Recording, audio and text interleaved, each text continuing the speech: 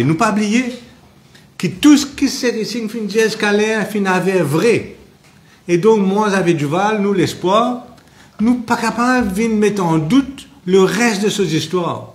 C'est-à-dire que le but de tout cela, c'était place un appareil de tapping, de sniffing, AB déjà à côté, et que ça, c'est pour faire par un pays étranger.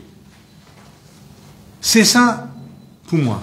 Après nous, nous rentrons dans les détails, tout ça, mais le but de cet exercice-là, l'horreur de ce qui peut arriver, c'est qu'il y a un pays étranger qui pour place un appareil d'écoute, côte les capable d'écoute tout ce qu'il est concernant l'Internet à Maurice et l'Internet qui rentre sorti et un message Internet qui passait à travers Maurice Transiting Traffic qui sorti Far East, qui sorti par contre de ça, qui aller l'Afrique, etc.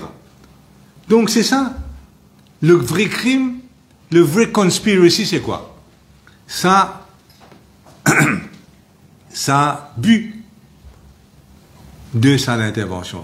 C'était configurer un appareil pour capable d'écouter. Écoute quoi? Écoutez, quand Xavier Duval, n'importe qui mauricien, puis envoyer un message, écouter, capture, etc. Dans une transaction bancaire qui est capable de faire, nous tournons dans une transaction bancaire, ça veut dire un pays étranger, puis toutes nos transactions bancaires, tout le monde message nous peut envoyer. La vie privée n'a plus, non, comment venir ici, nous avons un message, nous, nous, nous, nous, nous, nous, bien personnel, ça. Vous prenez ça, c'est du vol. Vous prenez un droit, prends ça. S'il est au moins, s'il est gouvernement mauricien, il est déjà extrêmement grave. Ça comme un gouvernement étranger ou un ça info? Mais nous était là. Un gouvernement étranger qui peut capturer toute information tout le monde mauricien. Ça, première affaire. Seconde affaire est dans le côté économique. Tout le business mauricien. Ça peut envoyer message, tout ça. Tout ça la capture par un gouvernement étranger. Tout le monde l'ambassade Maurice. L'ambassade étrangère qui est Maurice. Tout ce monde message peut capturer par un gouvernement étranger. L'offshore. Moi, je dis, nous connaître l'offshore qui était. L'offshore, c'est 20 000 Mauriciens. Et la base même de l'offshore, c'est quoi? C'est la confidentialité.